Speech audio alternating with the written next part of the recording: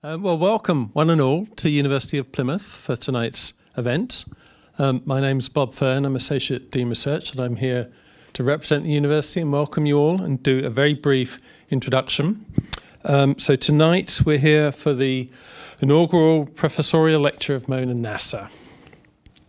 So becoming a professor is actually a very significant event in an academic's career.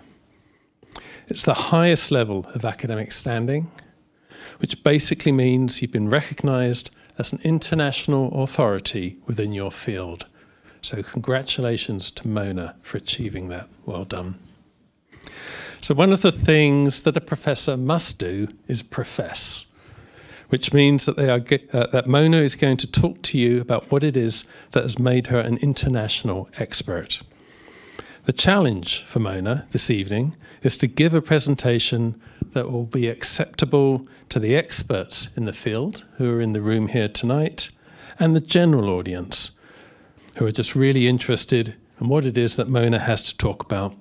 And I'm sure she will enlighten us all. So this this is a tag team introduction, and, and Michael will in a minute do a more personal introduction to Mona's talk.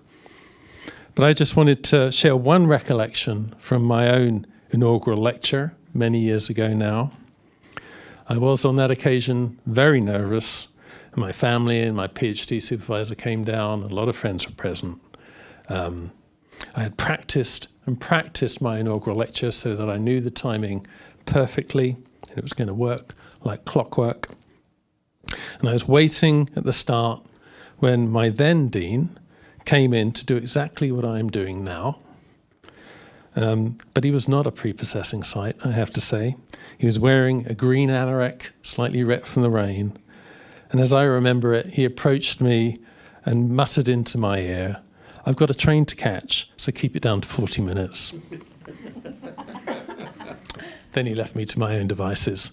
But that is not the environment here tonight, Mona. This is a welcoming, friendly environment, and we're all looking forward to your talk. That being said, Michael.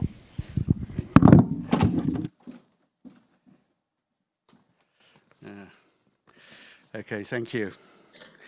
Well, good evening and welcome to this inaugural professorial lecture by Mona Nasser. It's a real privilege to be asked to make this introduction because inaugural lectures are part of the rituals of universities, as we just heard. And for all their levity and sometimes levity anyway, they serve to remind us that whatever else it does, the university, the function and purpose of a university is as a repository of knowledge and as an instrument of inquiry. Universities are essential to the 400 year old project begun in the Enlightenment to know the world and to use our intelligence to alleviate the hardship of not only just humankind, but all sentient beings. And it's worth reaffirming what's just been said that Mona has been awarded the title of professor on the basis of her, of her amazing research, which contributes to this human centered ambition. She will no doubt have something to say about that, but before she does, I've been asked to introduce her with a personal anecdote. Now, I don't know when I when Mona first got to Plymouth. I know it was quite some time after me, but I feel she's always been around since I can't really remember a time when she wasn't somewhere in the periphery of my vision doing something interesting that was worth looking at. If I remember rightly, uh, we first got to work together closely on the Cognovo project. This was an amazing transdisciplinary project, research project, of which the university is rightly proud. The project was led by Professor Sue Denham, who is here this evening. Welcome, Sue. and through a Marie Curie ITN, using EU funding, 25 PhD researchers were awarded bursaries. Its topic was cognitive innovation, and what was unique about the program was that researchers came from across the university, and if, if I can remember rightly, they came from the hard sciences, such as experiment, ex, experimental neuroscience, computation, maths, robotics. psychology, as well as music, the arts, and various disciplines in the humanities, including philosophy, history, and film studies. In addition to the faculty, it had a host of international external advisors, and alongside the supervisory team, there were probably more than 100, 150 international specialists working with these 25 students, thinking about what it means to be creative, and more importantly, thinking about what it means to work with people from other disciplines which have different priorities, different values, and different worldviews. And it was here, I think, that Mona was most visibly present and absolutely in her element. She seemed impervious to the academic tensions and able to flow quite seamlessly between people who, in the course of their normal working uh, life, were not used to meeting with each other and let alone dealing with the technicalities and specific language of disciplines that were alien. It's certainly where I came to know her more fully and recognize her talent for engaging with people. Looking at her CV, she has formidable titles. Director of Plymouth Institute of Health uh, and Care Research, Professor of Clinical Epidemiology, Quest Visiting Fellow, NIHR Oral, and so on. It goes on. You can all read this elsewhere. These seem to be enough in themselves, but outside this, away from academia, I discovered while we were doing the Cognovo project that not only has Mona done everything I vaguely tried to do, but she's got diplomas and licenses and medals and certificates and degrees for it. Whereas all I'd managed to do was really skirt around the edges like some helpless dilettante. So, for example, she can play the piano, whereas for a brief period I just desperately blew into a saxophone and eventually gave up before I was lynched by the neighbours. I discovered that she does various special forms of dance, calligraphy, yoga, rock climbing, while all the time functioning as an amazing academic sitting on international committees that contribute to the form and direction of clinical research and dental research in particular. She, ma she managed to write papers and at the same time to paint and draw and learn marquetry. The list is ever expanding astrophysics, space exploration. I don't have time to go through. But what I'm most grateful for, uh, Mona, is that it turned out that we both shared an interest in flying light aircraft. I'd started training about 10 years ago at Plymouth Airport, and when it closed, other things got in the way, and I sort of forgot about it until quite by accident I discovered that Mona was flying out of Exeter Airport with my old instructor, and I'm delighted to be reunited. I was delighted to be re reunited with Lynn Facey and started flying training again. With the patience of a saint, Lynn, Lynn spent the better part of 120 hours in the cockpit with me, looking on without me ever going solo.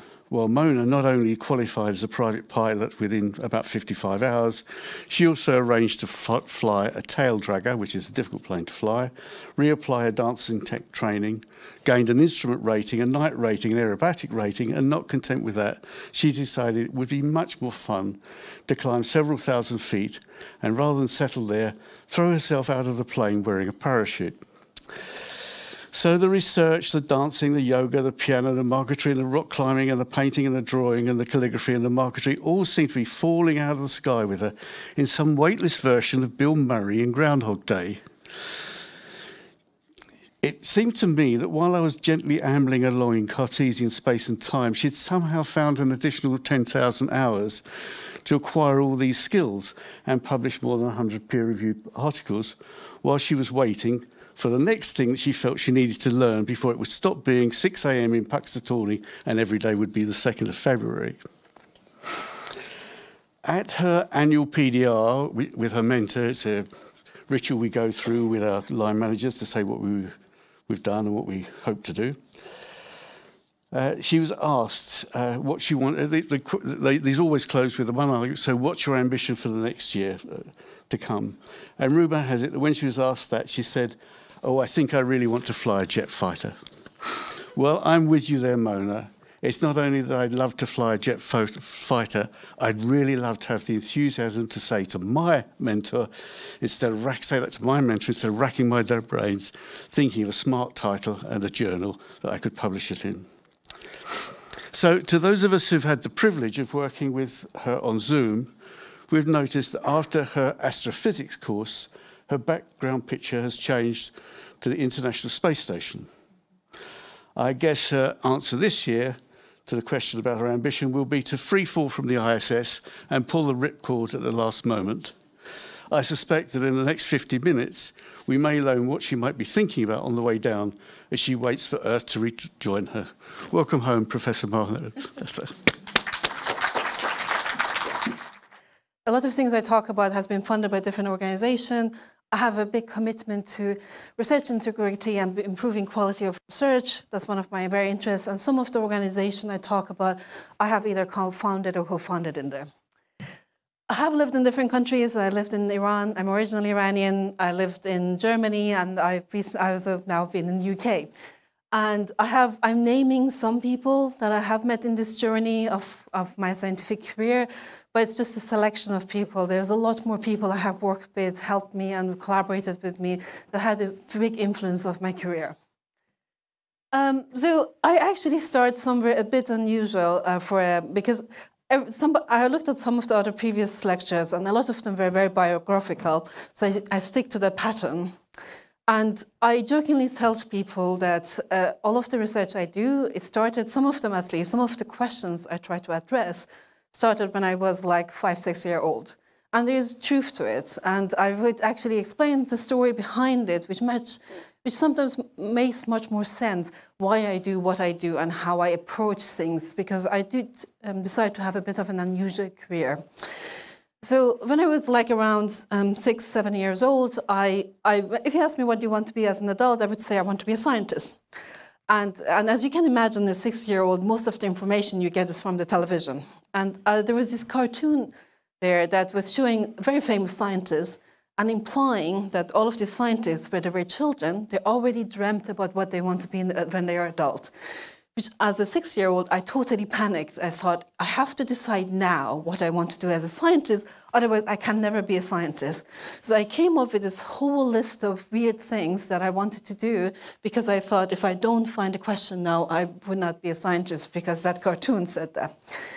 But it actually raised an important question that stayed for me up to this day is that what is a good research question and who decides what's a good research question?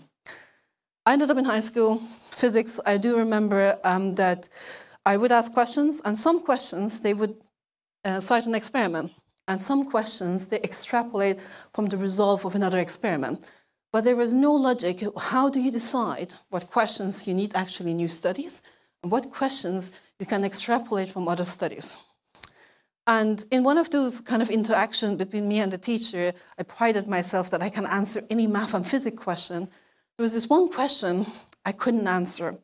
I was, I was really stuck. I found out later, I found the answer, but the answer was so simple, I couldn't believe that's the answer. So I ended up doing something really bizarre. I, it was a geometry question. I took some piece of a thread, put it under uh, geometry, and built a three-dimensional um, object and tried to solve the problem in three dimensions and then bring it back. I ended up realizing my first simple answer was the right one, but it kind of made me realize that looking one way to a question is sometimes misses some of the complexity it has. I learned a lot about that object trying to do that exercise. So forward from high school, I was in the dental school, and this was in Iran years ago. So some of the things I would say, we would not do that in the dental school here. This was a long time ago there. So um, I think a lot of, I, I found dental school really confusing. And the final patient I had, and people who have been my students have heard this story way too many times, was kind of brought together all of the confusion I had about dentistry. So I had this patient, it was my last patient, and I wanted to do the perfect treatment. I was committed. This, with this patient would go out with the most perfect partial denture that ever somebody's seen. I read any possible paper. I found the most critical supervisor to work with, and I have done everything. It looked perfect. And I went to the patient and I, I want to test it out. It was uncomfortable. The patient looks at me and says, I'm hating it. I'm not going to wear it. And I was very kind of distraught with all of this work. I went to my supervisor. I said, I don't know what to do. He said, the patient is an idiot. Go and convince him. And I felt this interaction doesn't make any sense in that whole thing. But it kind of, um, years afterward, I understood what some of the things that happened is that um, those times evidence-based healthcare and especially evidence-based medicine and dentistry wasn't that um, popular yet. The realization that some of the assumptions we make about our treatment, the qu quality of the evidence is quite limited. And sometimes when the quality of evidence is limited, and when you weigh up and down with the patient values, you might want to come up with a different decision than just one standard treatment with them. Looking back, I probably should have given that, um, that patient a lot more options because I was I was saying this is the best treatment because in long term fits with him, but in short term he would have been uncomfortable, and he should have had a role in making that decision whether he wants to accept that or not. Then in Iran, and dentistry is a doctoral program, so I had to do a dissertation. That was my first doctoral dissertation, and um, I thought I would find answers there. And um, it was a, a micro, what I did was I was looking at antimicrobial activity of some dental materials. So you take a culture, you put the material there, you put the microbes in there, see how many microbes it kills. It seems very simple, very standard test. We did lots of replication. I was trying to write up the dissertation and the discussion. One of the big problems was the material distributed differently in that plate, in the agar, uh, than it would do in the mouth or in the teeth. And the difference was so small, I couldn't I couldn't find out a way to explain that this what the meaning of the results is if somebody wants to apply it because there's not much difference. And I didn't want to give up, so I went on a search to find one paper that kind of gave me another solution. I found this, this paper in some Brazilian journal. I remember it was a Brazilian dental journal. And they have done a different way of doing it. They have done a different way of testing it. I went to my professor and said, can we replicate some of the experiments with that? And she said, she read that and she said, no. I'm like, why? And she's like, there's not enough details reported that we can replicate it. So there's some idea, but there's not enough. And I finished the dissertation. I could have published it, I could have presented, but nothing else would happen afterwards. This all seems to be, doesn't seem to be the scientific process I was hoping as a six-year-old I would experience. And I think the changing moment was for me when I met the Cochrane Collaboration, the people in the Cochrane Collaboration. So Cochrane Collaboration is an international evidence-based healthcare organization. What they do is systematic reviews. So what is a systematic review? Systematic reviews are, you take one clinical question, you try to identify all of the relevant study designs on that study, appraise them, synthesize them, and answer it. And in all of this step, you have, you're transparent, you're systematic, you're critical to achieve it. And, and in, those, in that process, a lot of the discussion that the, in the Cochrane collaboration was happening answered a lot of my question. Because, for example, we do talked about the problem of reporting, and if it not, there are people who develop reporting guidelines to address that problems. And there's all of these issues that I was struggling with. Suddenly, there was somewhere I might find some answers to it. At that time, these are some of the people I met at the beginning of it. This Cochrane collaboration was built by, founded by somebody called Sir Iain Chalmers, it was also shown in the picture. And I have to say, it was also a bizarre time for me because it was like I was a 20 year old um, newly graduated dentist student, and I had access to this network of international experts who, for some reason, volunteers to give me time to train me, help me, advise me to do projects. So I ended up doing a lot of more systematic reviews, a lot more work around, um, a lot more work around uh, meta research, which is like research on research, to understand what is going wrong in the process of doing research that affects the results. I did a lot of systematic reviews dentistry and non-dentistry. One of the most dispersing things you find out when you start doing that is that some of the most important clinical questions we have don't have a lot of evidence behind them. So you end up with saying, the three clinical trials, the quality of these clinical trials are not very good, so we cannot give an answer. And, and it, it, it, suddenly made all of those dental problems I had in dental school more apparent because a lot of things that I would thought, what I learned is this treatment works this way, and I was given this impression as a very definite answer, is actually not. There's uncertainty around it. And when there's uncertainty around it, then you know that you have to consider that the balance of the treatment might be different when you're coming and seeing a patient. And but one of the things that also was really interesting, I saw, is that when you do systematic reviews, it kind of shows you where the gap of research are. So some of this review we did like 10 years ago. When we updated it, suddenly from four clinical trials, we had 30. And it happens in all of the fields of healthcare that's similar. People start doing systematic review, it became apparent there's a gap, people start doing research to address those gaps, and suddenly you have evidence to answer them. So, so don't be worried, dentistry is improving over the years. Uh, one of the interesting things during the years I was done was like, um, I ended up doing some other work in medical history, which uh, it was more focused about um, how the methodology of research has been, how old it is, some of the discussion we have in methodology of research. And the depressing part is it's actually sometimes older than you think. And you think, well, it has been years and years, and still people don't, don't follow certain principles of good research, even after like 100 years of discussion about that this is important. And um, so, yeah, so, and one of the other things I learned when I was working with Cochrane was you can capitalize on an international network to make your work more influential. And also, it's not only about how do you do research, but also how do you uh, organize the people around you and the groups you build. And that sometimes, especially if you're trying to do large-scale research project with lots of expertise, that's as key as to be an expert about what you're doing and that Um, so after, so one of the key, start, key changing of my career was I moved to Germany. I worked in the Institute for Quality and Efficiency in Healthcare, which is a, a if people know NICE, the National Institute of Clinical Excellence in UK, it's very similar of that in Germany.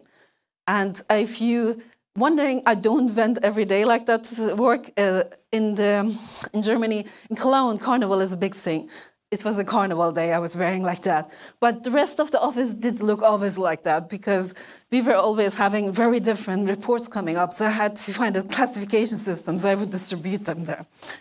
Um, during that time, I was working with somebody called Peter Sawicki, and Peter got me into involved in, in, in comparative study between countries. So at that time, Obama was Obama was president in the U.S. and he had a lot of people know about the Obamacare.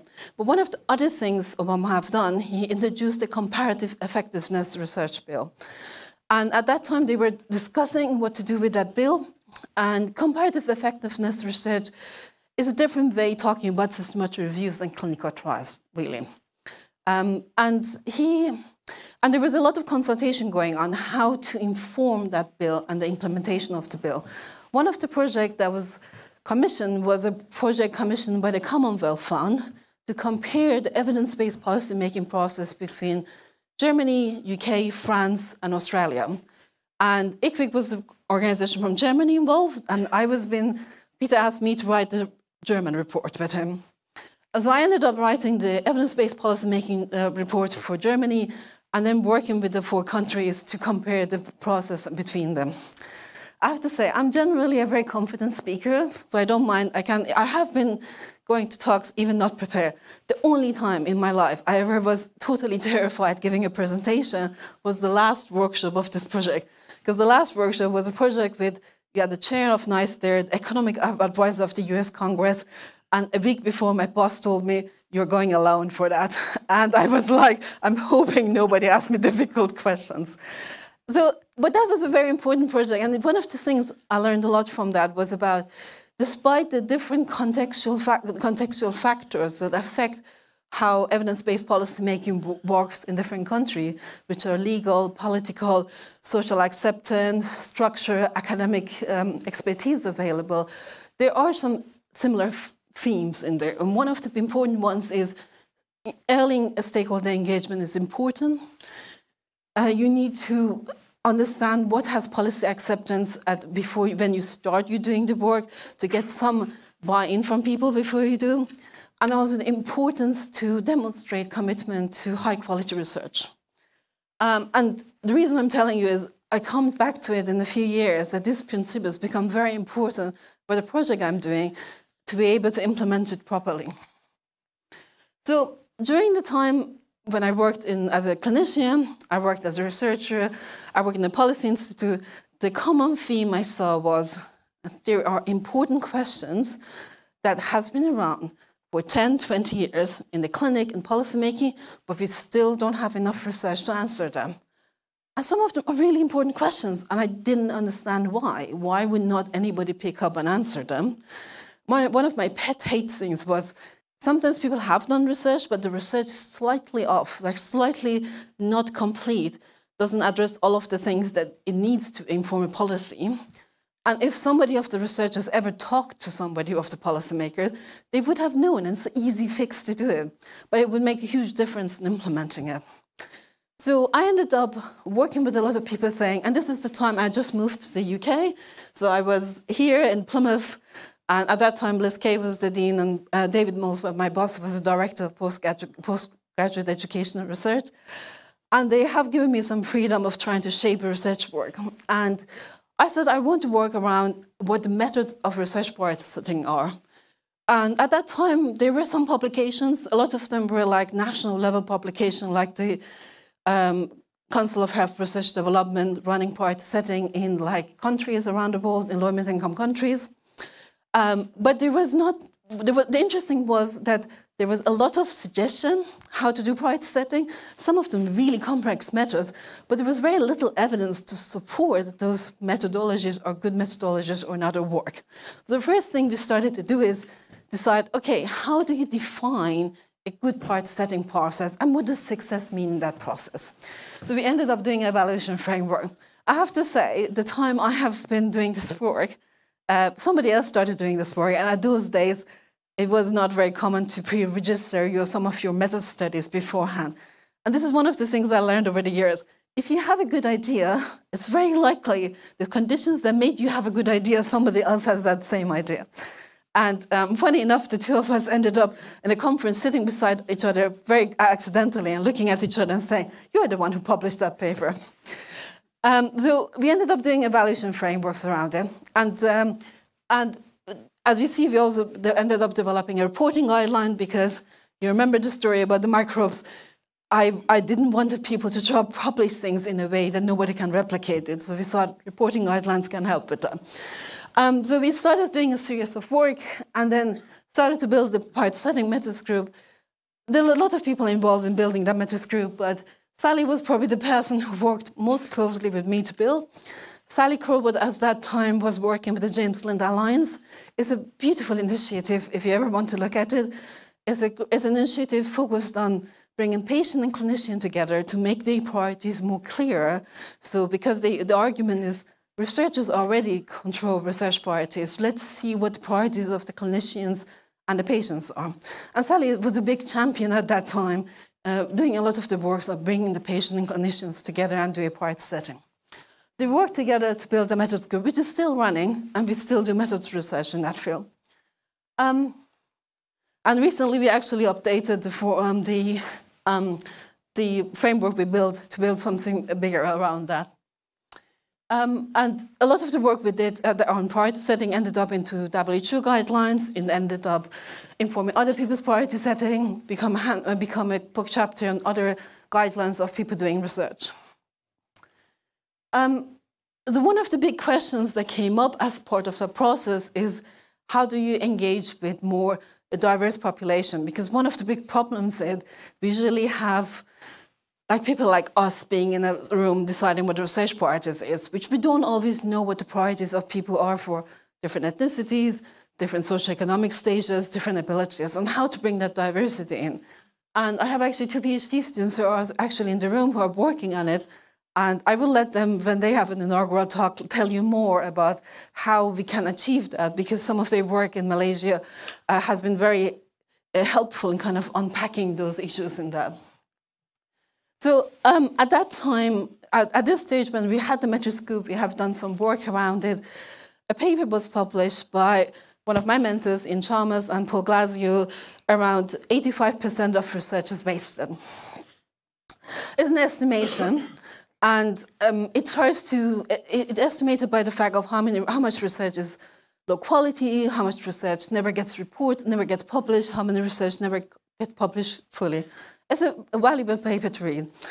Uh, but one of the things the group, after the paper was published, was to build an international collaboration that different people started working on different aspects of the research base and what it, uh, what it looked into.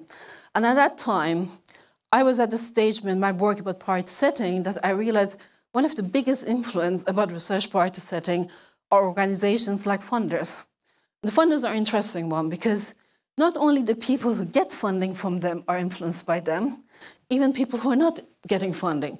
Because all of us, we want to get research funding. So we try to do research that aligns with them, so increase our chances to getting it, or write proposals around it. So we end up working on that area even if we never get the funding.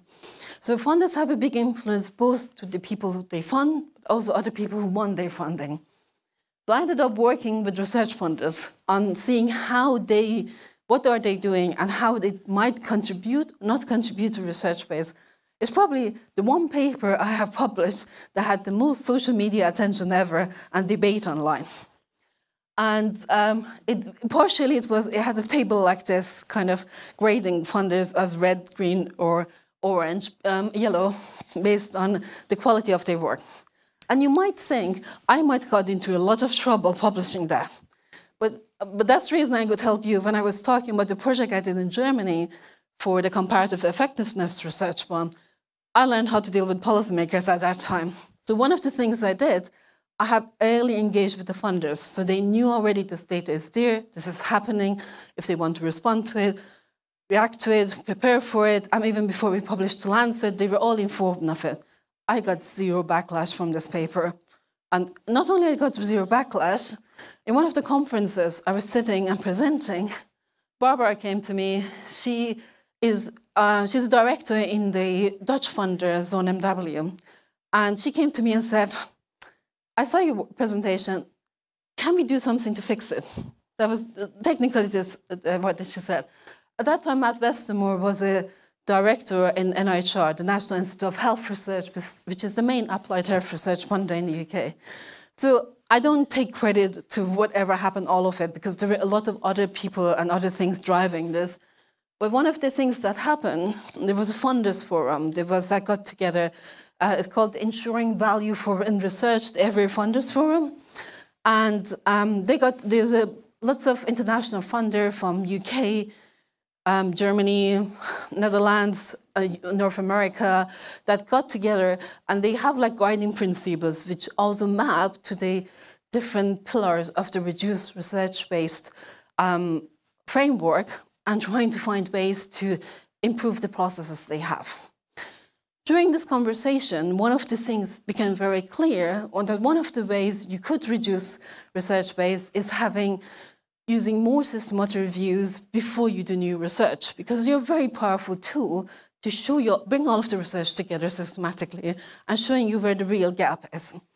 But sometimes it can be very complicated to do this process. So we ended up doing building another initiative called the Evidence-Based Research Network, and we had some funding from the um, EU um, cost action to kind of work on it further. And we have written a lot of work and I've done work around how do you use systematic reviews to inform future research and what are the different ways and methodologies you can use.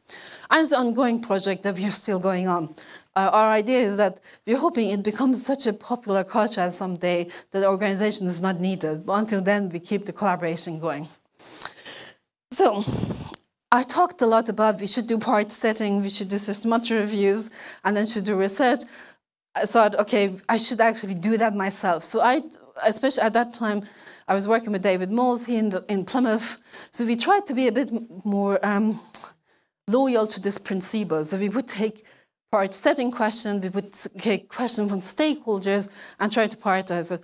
One of the interesting things you would see over time that there is a lot of overlap what people have interested in, where the biggest problems are. So we find it to have, see patterns of research emerging from it. And the photos I have is like one of my previous and two of my current PhD students who are working on these areas. And, um, and hopefully one day they become professors and kind of explain how they went to it. And the green ones are the active projects. I talked a lot about my past project, I thought I'd talk about some of our current projects going on that builds on it.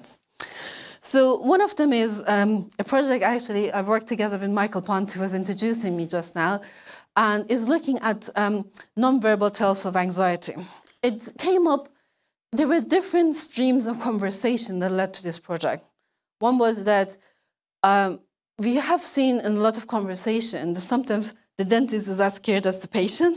I mean, maybe we shouldn't consider the whole anxiety of the dental practice in a kind of dynamic way between them rather than separate.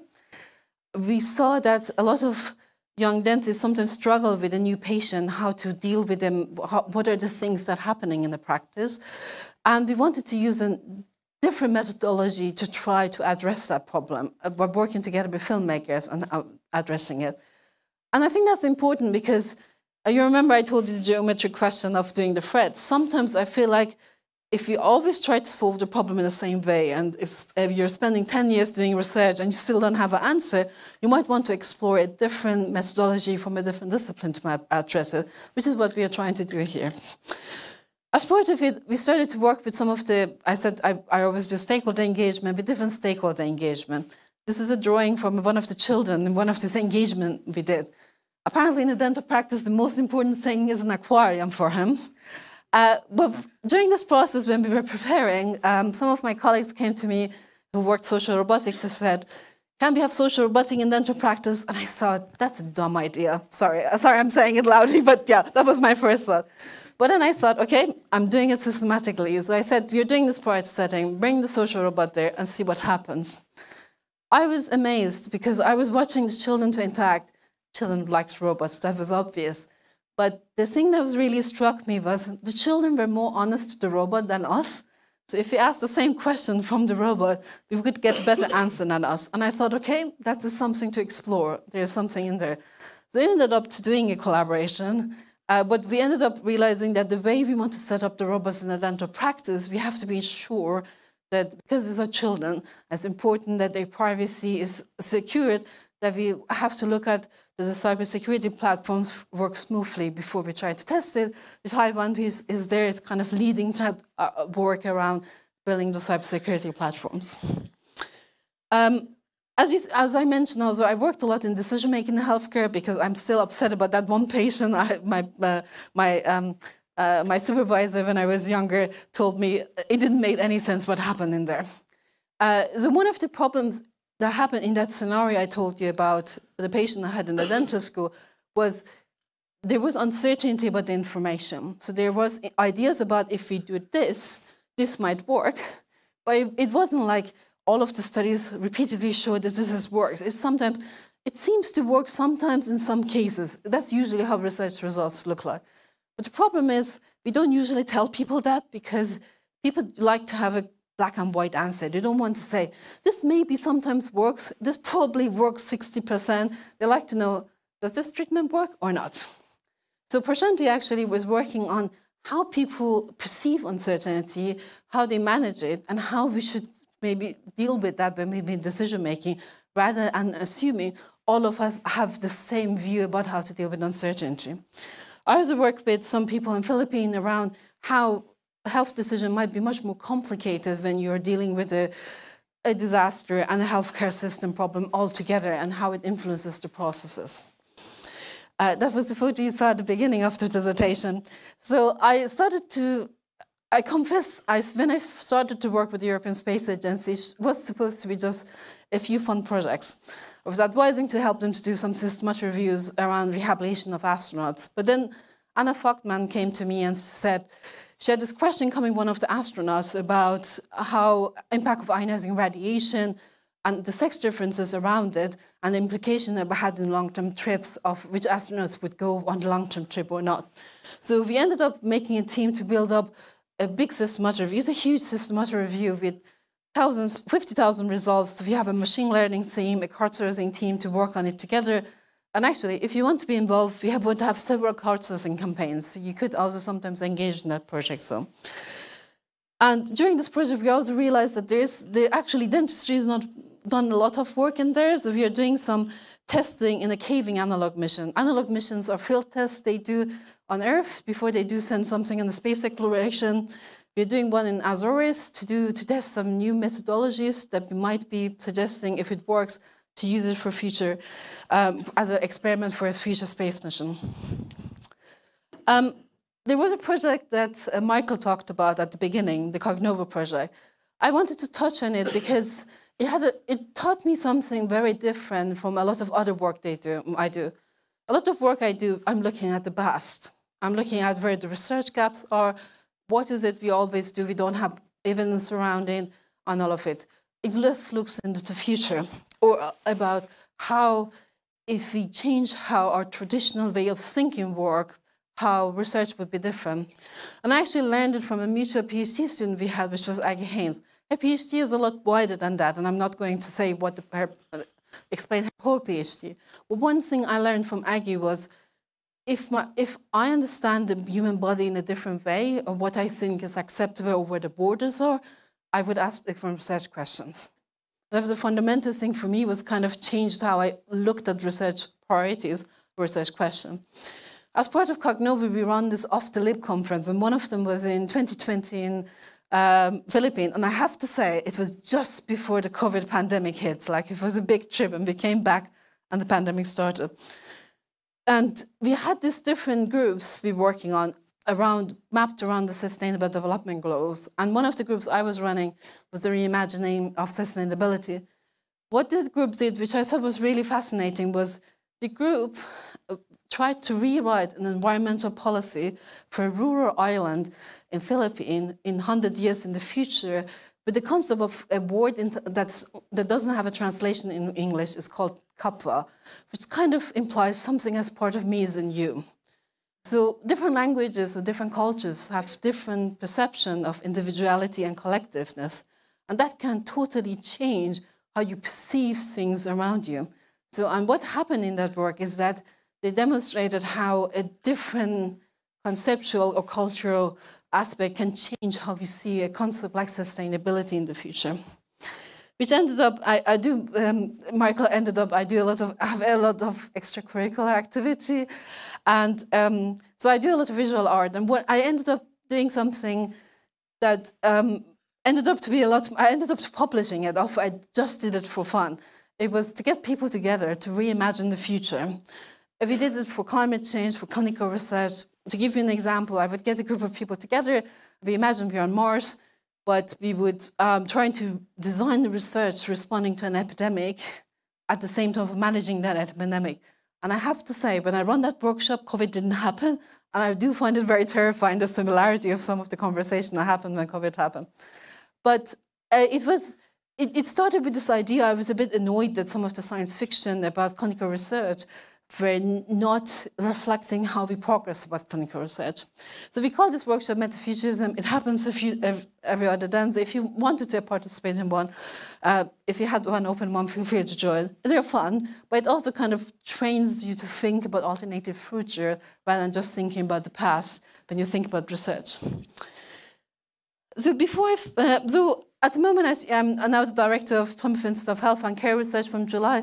I have to say I find it very exciting and also terrifying because up to now I talked a lot about process, price setting, and so on. And now I'm in charge. I have a decision-making role that I can influence these processes.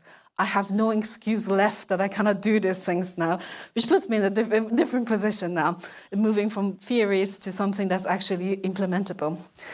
Uh, before I finish, I do want to mention one person more. As uh, Gordon Guyatt is one of the founders of EBM. He's a professor in McMaster, and um, years ago, this was like 12 years ago, he, uh, I was in a meeting, I raised an opinion about something, it was a very dense, a very complicated meeting, and he, um, I raised an opinion, and I wasn't sure whether the room took it well.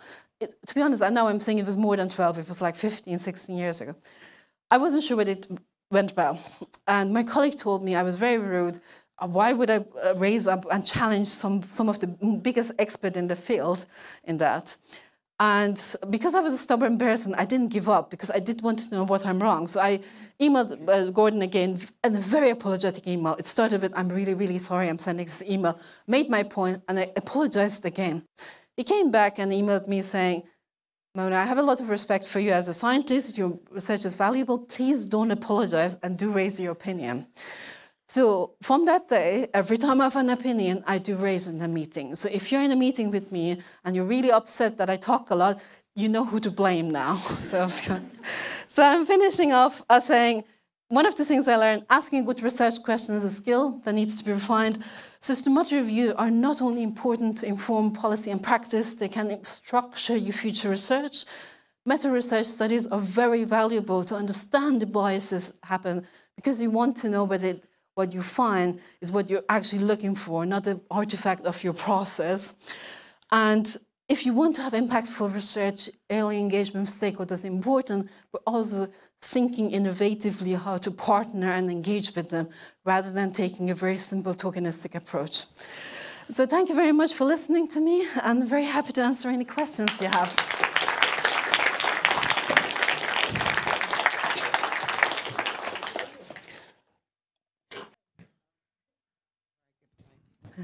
Apologies. Hi, Mona. Thank you so much for that. Um, I know you mentioned uh, later on in the talk about the impact that um, different cultures and how they, you know, view even communities and how they interact impacts the questions that they ask and the type of research that's done. When you're doing a systematic review, does it take that into consideration? Because I know I come from a very small island. so, yeah. um, you know, and one of the things that we don't do a lot of there is research for various reasons. Mm-hmm. So a lot of our influences then will come from US or UK or wherever the case may be. So I know that that's that happens in a lot of smaller places, different cultures. So when you're doing systematic research to inform policy for like World Health Organization that might be doing a policy for these same countries that may not be doing that level of input. How do you take that into consideration? Yeah. Okay, there, there, it's a very good question and it's a very complex answer because it has lots of layers to it. Because um, First of all, a systematic review is as good as the studies out there. We call it the expression garbage in, garbage out. So you could run a very perfect systematic review. If you have really bad studies out there, you cannot do anything. However, I think there is a, there are two, three angles you can take. One is what is the research question you ask? One of the things I find with priority is that there are two, two ways people are different with different groups. Sometimes they have different questions to ask, but sometimes they have the same question. How much value and what aspect of the question they value is different. To give an example, there was a thing in the Cochrane Library years ago. I think this review doesn't exist anymore. It was, uh, it was some of the Chinese authors have written the Cochrane Review. Now it, the Cochrane Reviews are a bit more like uh, standardized, but the Chinese group, what they did, they had this outcome measure, and one of the outcome measure was how quickly you can get home from the hospital. And they made this whole argument that, like, like this review was done in other settings, and this was wasn't the primary outcome measure because they're more more clinical one. It was about a heart disease. But for Chinese families, it's very important. They don't want the, the family be in the hospital. They want to be as soon as home, even if it means that some of the other outcome measures are a bit compromised. They're weighing up and down. And I thought that was a really interesting demonstration of an argument. But what it demonstrates is sometimes when the issue is about priorities of what you value, the first thing is people have measured it, which would be nice. If they don't measure it, you cannot do it. But if they measure it and they have result, then the issue is you might have the same data set, but you might have different recommendation for different contexts based on the priorities. Like the example I gave you with the patient at the beginning I had, the denture, partial denture one. That in one patient, it would have been more very appropriate to give the denture I have given him. Because the denture I given him was built with the idea how much I can preserve his bone long term because he would long term be a it would be better care for him. But imagine the same patient is a cancer patient who might die in three months, giving him a very uncomfortable denture in that, that to increase his lasting for long term, and uh, but they make him uncomfortable. It's totally nonsense. Doesn't make sense. You would make something that might damage long term the bone, but the person has a very short lifespan, so it doesn't make sense to do that up and up. So uh, at least, like you want to give the option to the patient to decide whether they want to do that up and down. So, so there is an issue about what what we measure, how we value those measurements, and how we prioritize. And when we have the data, how we weigh up and down when we are implementing it to go. I have actually a funny anecdote about that. I was with a friend um, who is uh, who was working NICE at that. I was working IQWiG, she was working NICE, and we were in the, in the bar uh, um, drinking, and we, her husband was there, who was a, um, um a physicist working with CERN. So, and we were talking about how so the HPV vaccine has a similar set of data. There are some big clinical trials. So every country has the same data set they're using to make recommendation. But every European country had a different recommendation whether they give the HPV vaccine or not. And we were discussing it. And just to explain, it is appropriate that they have different recommendations. Different countries have different legal system, political system, value systems. Sometimes it's very reasonable they have different decisions in the same data set.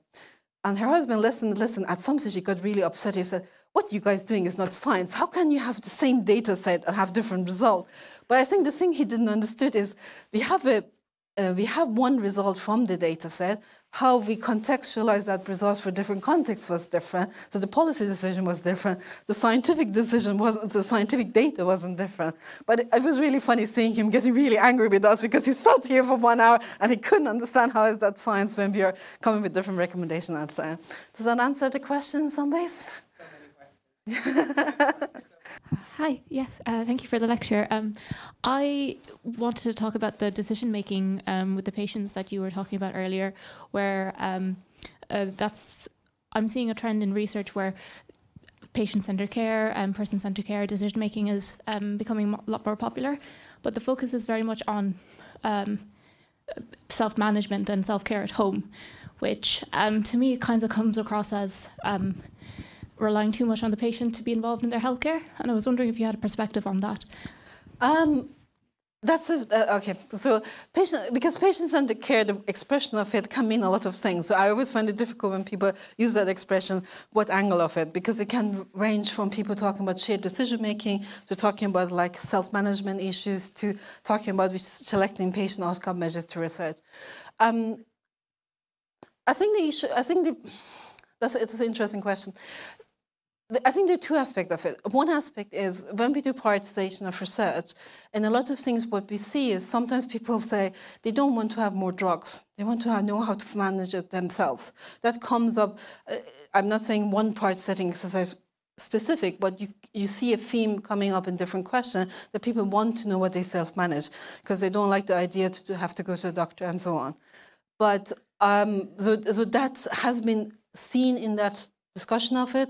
I think the issue that you're raising is that that if that becomes the more predominant only option available or only part of the discussion, it might look like it's victim blaming rather than addressing the health services issues. Uh, but that also, but I think the reason that that looks like that is a problem is because it comes along across with the same time that people have difficulties with accessing clinicians and it's given as a substitute rather than as a complementary things. So I think the difference is the difference here is about the perception of what's happening in the health services at the moment and how people perceive this intervention is being put forward as a priority rather than as being a possible potential research question that we need to ask. Um, so, that, so yeah, it has this, this complex layer of it. But I would say Self-management is something that comes up of something the patient wants, but I think depending on the, uh, the situation of the health services context, how it's accepted or viewed might be different because of what's happening at that time in that context. That seems to me, the, that's, that would be how I see it. Um, does that answer the question in some ways? Yeah. Yeah, yeah. yeah. Yeah, but I think maybe actually another way. I'm, I'm I'm trying to think as I'm answering you, but I think it's Another way of kind of thinking about the problem is the difference between thinking about self-management as an intervention versus self-management as part of the health services, because that's a different conversation than this one. And when you become, when you treating health self-management as a separate intervention, then it makes sense to compare it to others and so on. But it becomes part of the health services. It depends on how people perceive it was presented to them. So that's kind of the, where the difference comes from. So yeah. A question here says in modern research, only positive outcomes are discussed. What are experts doing to publish more papers that are not the outcomes that are desired? Thank you. Um, okay, that's it. What what for, for, the, for people who might, some of you might already familiar with the term of publication bias or reporting bias, is a known factor in research that people who have if po positive results are more likely to be published than negative results. It's not only more likely to be published, they're more likely to be quicker published, more likely to publish in English, more likely to publish in famous journals. And I'm, I'm, smiling because I'm supposed to give a presentation on publication bias on Friday, so I was reading about it. And one of the sad parts is it has, it has been known in the, in the field for a long time. One of the things that happened in the last um, I, I, I, cannot say in my head, I don't remember how many years ago it was, but it start, we, we started to do methodological research on it. So we like, there are people who actually compare that they look, find all of the research that has been sent to ethics and then followed it up, how many are published or not published, or if they're, if they're published, what outcome measures they reported.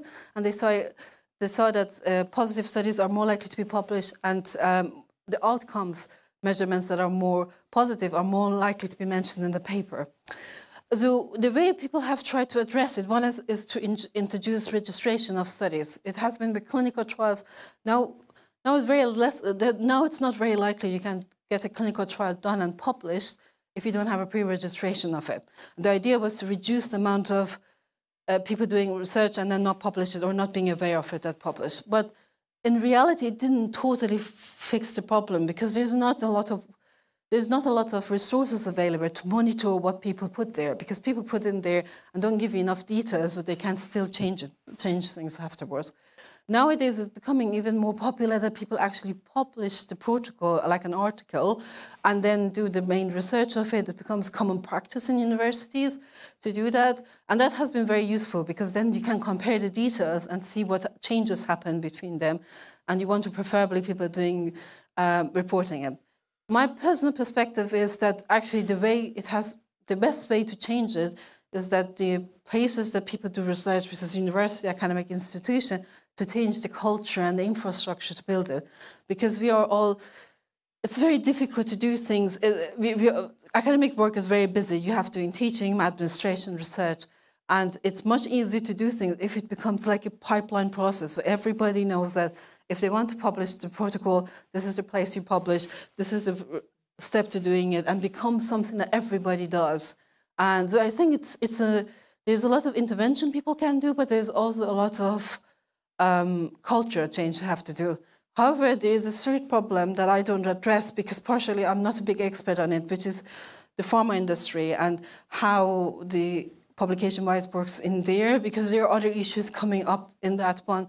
And I, I would be I would be lying if I say I'm up to date about some of the intervention happened in there, how it's going on. Because I remember there was this issue around that like FDA wouldn't approve a drug if the clinical trial wasn't registered, but if they had a clinical trial to present that wasn't registered, the fine was something like $100,000 for, for a multi-million business, that's nothing. So, but I don't know if this this has changed. I remember this was like years ago when I was looking into it, but I don't, I wouldn't be totally up to date about the issue what's happening with pharma industry now. So, um, does that answer the question, Zaska? there's uh, no feedback on that, but it sort of follows on from that in a way that there's a question here congratulating you on your professorship, of course, um, and really it concerns the role of AI in uh, misinfo and misinformation in the future research outcomes and how they're interpreted. Have you had any thoughts on that? This is such a big question. So, uh, there's so many angles of this question that can be answered. Uh, uh, actually, I, I choose one of the angles to answer, so I have something to focus on. Because I think let's think about ChatGPT because people use ChatGPT as help for information and so on.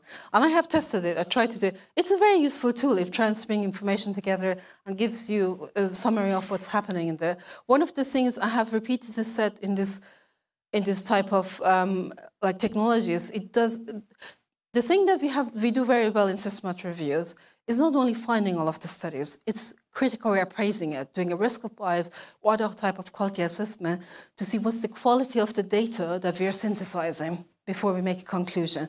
And that's a very critical part, at least my favorite part. And uh, all of this kind of, most of these technologies that, at least to my knowledge, and I'm not an AI expert, uh, seems to be processing knowledge, but they don't have a, they don't been very good in disintegrating all of the quality issues underneath it to bring it together. And how we use AI machine learning is as a way of reducing the workload we have to do of the manual work that can be done by AI. So if you have more time to do the critical appraisal ourselves or the synthesis of it.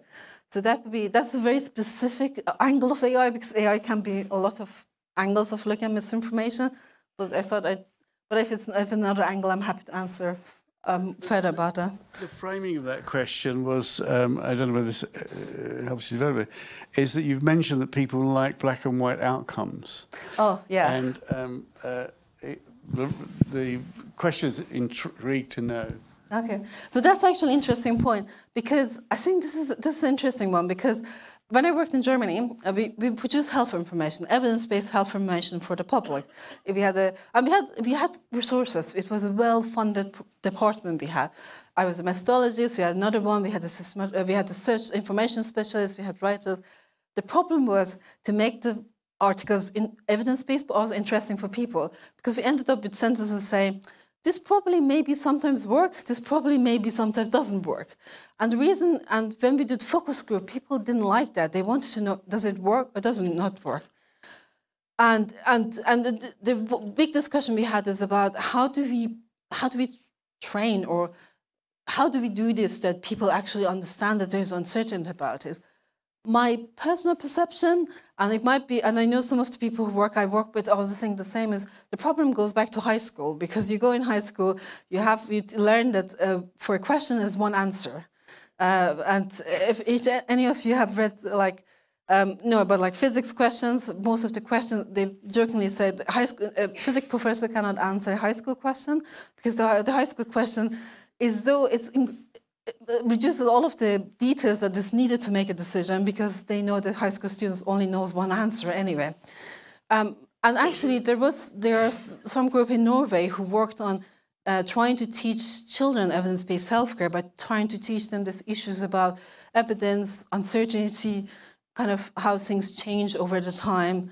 And um, so yeah, so so so my personal perception is the very best way we can address it, we have to change how we teach children in schools, because that's where the problem. Because what we are doing in the university, we're trying to retrain them what they learn in school. That this is not how to look at information. It's not black and white, and then it brings on the other issues and problems that comes with it. So. So, so flowing from that, really, there's two questions here that we can put together. Um, both send, of course, their thanks for your presentation. Um, one is about shaping researchers. They're both about shaping researchers of tomorrow. Yeah. And one is says what's the most important tools that young researchers can gain for mm. future quality research, and um, uh, what's your advice for young people who are really confused on how to start their journey? Um, so, okay, the first question was what tools is best for? So the first question what was one of the most important tools that you, young researchers can gain for the future quality of research? Uh, um, oh yeah, no, I think I think um, young researcher, I think for me, this is my this is my view, and this is probably how I started because. I think one of the biggest things that helped my career is I started with systematic review rather than starting with doing primary research because I spent my time appraising other people's research before I did my own research. So that was very helpful for me to understand when somebody wants to read my paper and use it, what are the issues? So when I'm designing the study to consider that. So I, my, I think one of the I think biggest tool to, to is starting with thinking about quality of research, understanding how the critical appraisal tools work, and lots of methodologic training. So as much as op taking opportunities to do methodology training before and uh, trying to do your own research. I have seen people doing starting having very limited training, going into trying to do a big project and getting stuck with problems in there. And, and also one of the other things I would say is that being open to the fact that sometimes the methodology to answer your question might sit in another field or another discipline, and you might want to talk to other people in other departments to figure that out. But the wrong researcher is confused. Uh, that's the reason I told my story, because I was among researchers very confused at the beginning how to find a journey. Um, so, um, so I think have, I think one of the first things is probably having the curiosity and having some level of curiosity and interest in the work that's important because that encourages people to work with you.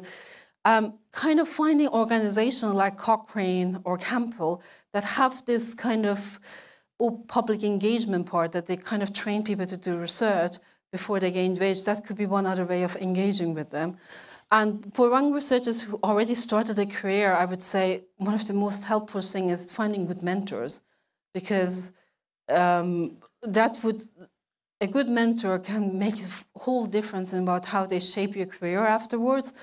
And, uh, and at the moment, you're living, at least in healthcare research, living in a world that there's a much more diverse range, people from diverse backgrounds who are, who are quite senior academics now uh, around you that you could tap into, which is much, much helpful because somebody who went through the same problems you have is much easier to, to walk you through things that people do, don't understand your experiences in working in that environment. So I would say lots of methodology training, reading papers and critically appraising them, and finding good mentors and actually reading papers.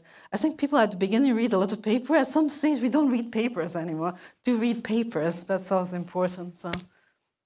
So, to extend their question, I just wonder if you have any thoughts you'd like to share about interdisciplinary collaborations for early career researchers? Um, so interdisciplinary collaboration is interesting. I think there's a lot. For me, I learned a lot from.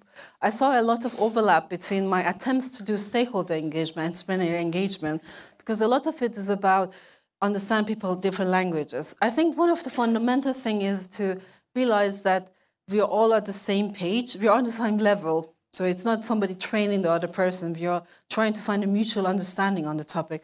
I think that's a very important starting point of the conversation. The second starting point is uh, recognizing even if you use the same words, they don't mean the same things. So kind of clarifying and discussing it is important. People sometimes want to jump into the interesting part right before they do the preparation and kind of thinking about like a word review might, or the word quality might mean two different things in two different disciplines. And that would be like, I would say, as a starting point of it. When you get into a collaboration more intensively, I think recognizing where um, the so every every uh, every field has a different level of what is good quality, what's adequate quality, and what is acceptable practices in there. And that's where the tension sometimes comes from because people get really upset about something not done in a certain way because in that field, that's where the problem, that's what they need. And seeing where, and it doesn't always require compromises, kind of recognizing how to work together to make it happen, where to, where to find innovative way you can collaborate, or sometimes doing a project from different angles, like I did my geometry problem, looking at a different angle, from a different angle of it, and trying to solve that problem. That would be how I would, um, how I would kind of think that maybe it's to be maybe one way of approaching it, or at least starting to approaching it. Yeah. So we have a question here. You just wait for the microphone, please. Yeah. Um, this is most interesting, but I'm a different sort of scientist, yeah.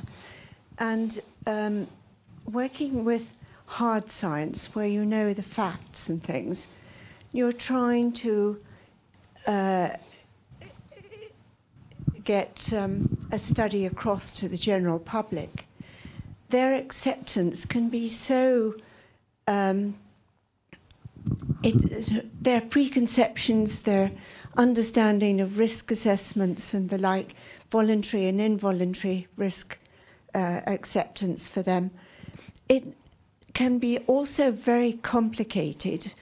And now that you've got social um, media really playing a, a, major part in influencing how people think about it, um, how do you? I mean, I can understand um, how you are talking so well with a range of um, uh, researchers and their backgrounds and interacting with mm. that and coming to really good conclusions on that. But when you start going into the general public, how do you get this across? Because it must be so complicated now. I think one of the so there are um, there are different ways of approaching it. I think one of the people I mentioned before was Sally Crowe. She was uh, uh, Sally probably taught me most about how patient involvement because that's her main work. She's not an academic. She her background is how to engage with patients and bring it together. I think um, and it's a very difficult answer, question to answer because it can range from vaccine conversation, which are very difficult, and I have to say sometimes I'm like I cannot do this, to conversations that are much more like small, small scale, like do we should be hand wash or not, which has a big, big acceptance of it. I think one of the things I find is understanding where the fears and the anxiety of the people come from at the beginning. It helps, at least in smaller conversations I had, because that's usually uh, sometimes it makes you understand that the reason the people are doing something is not what you think is the reason they are. Like we are trying to educate them about something, but that's not the reason they are doing things. Giving an example, I. I had uh, I was working with people who used a lot of alternative medicine. It was and my assumption was they don't understand alternative medicine doesn't work for this treatment. So I was trying to give information. This is not it works. But I, then I thought, sit down and thought, let's sit down and just talk and let's let me listen. And I realized what they wanted was the human contact. The, peop the people had some loss in their life, they had difficult time, and these people give them an explanation, an answer, because we, I, it, was a, it was a chronic disease that didn't have a treatment. The contact, that simplicity, that niceness, that was what they were looking at. And I was trying to argue a case about the effectiveness of intervention, when that's not what they were looking, that was not the reason to doing it. So I think my perception is sometimes understanding people's fears and anxiety and where it comes from, and sometimes recognizing what they value is different from what we value is a starting point to find some commonality in the conversation. However, it's very easy for me to say that here, but in practice, I don't. I, I would never say that I'm always successful. There have been occasions that things were very difficult, and I managed to get people together, and there were occasions that I didn't. And and actually, one of the ones that I found really difficult is the vaccine autism conversation. Is that I, I, I don't know how to, I don't know how to manage that. If a patient group comes to me, I don't know how to manage it. I find it really difficult because the way of the information has developed and evolved, and the fears and anxiety is in a way I'm not the, I don't have the skills how to manage it. So I'm quite aware of it. And I think sometimes also being aware where your limits are about what to engage with which patient groups rather than trying to force your, your views on it or trying to promise you can deliver that in that sense. But but yeah, I would say my main thing is looking at fears and anxiety of the people and how to address it. I don't know if it does answer your question or not because I don't know which hard sciences you're coming from, so I'm starting to make guesses about it. So yeah, that's good. Um, uh, I think we only have a minute left, and I'm really afraid to ask this question. It came, comes in here, and I have to. So, what next? Only a minute. um, this is a good question. I think I, I did describe some of the projects I have currently up. Uh, for me, um, so one of the things one of the things I learned from somebody who's one of my mentors years ago is that uh, sometimes some research areas are too crowded. And there's too many people, too many, there are too many brain and resources going in. Do I, do they need additionally my brain in it? So that's one of the things I always look at is that I do a project, but then think like, does my brain and resources still need it or not? So I've started priority setting methods group. I don't think my brain is needed for doing a talking about evaluation and priority setting because there's lots of people are doing it.